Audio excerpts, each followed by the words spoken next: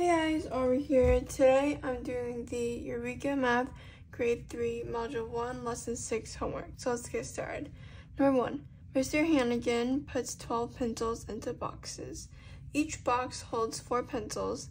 Circle groups of 4 to show the pencils in each box.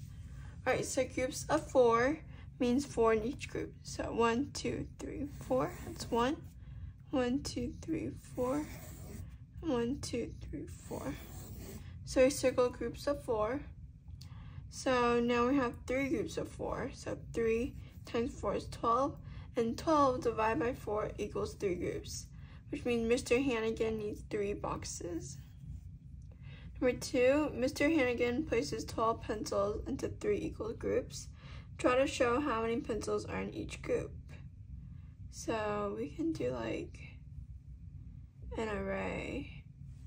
We can do three groups, so one, two, three, and we'll use circles to represent. And there's um, four in each group, so one, two, three, four, one, two, three, four, and one, two, three, four. So 12 pencils into three equal groups. So 3 times 4 is 12, and 12 divided by 3 groups equals 4 in each group. So there are four pencils in each, in each group.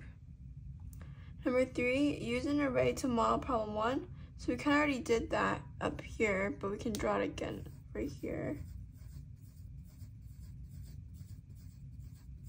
So yeah, so three groups times four is 12, and 12 divided by four equals three groups. So the number in the blank over here, the three represents the amount of groups. No, three represents groups, so groups, because there's three groups. So the amount of groups. Because in the array, you can see there's three groups for three, three rows. And then B, 3 times 4 is 12, and 12 divided by 3 equals 4. And the 4 represents the number in each group, because there's 4 in each row. So the number in the blank, 4, represents the number in each group. Alright, next page. So number 4, Judy washes 24 dishes. She then dries and stacks the dishes equally into four piles. How many dishes are in each pile? Let's draw an array 24 dishes and stacks them into four piles. So that means we have four groups. So one, two, three, four. And then we can do until we reach 24. So one, two, three, four, five, six, seven, eight, nine, 10, 11, 12, 13, 14, 15, 16, 17, 18, 19, 20, 21, 22, 23, 24. Oh, that one's like a bit messed up. But it's one, two, three, four. So yeah.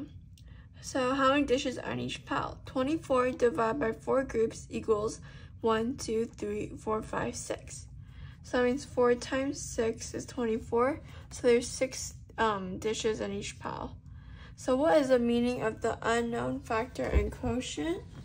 Well, the unknown factor is the number trying to figure out, and the quotient is um, the answer we get when we do a division problem. So if we realize the 4 is representing the number of groups, and the 6 is representing how many group are in each group. So the meaning of it, they're representing the total. So they represent the total.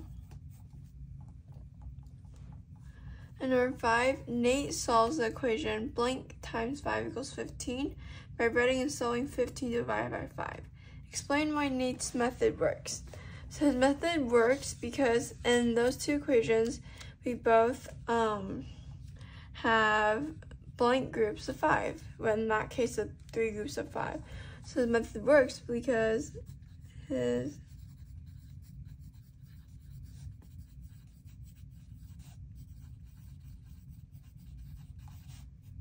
in both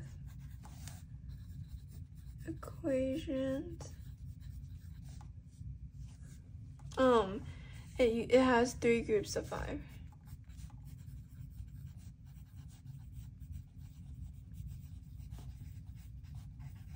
So then you can use that to figure it out. Number six, the blanks in problem five represent the number of groups. Draw an array to represent the equation. So number of group would be three because the blank there in the blank would be three. So this is one, two, three groups of five. One, two, three, four, five, four, five, three, four, five. So three times five is 15. So yeah. Alright, thank you guys so much for watching. I hope this video helps. And please don't forget to like and subscribe because it really helps on my channel. See you guys next time. Bye!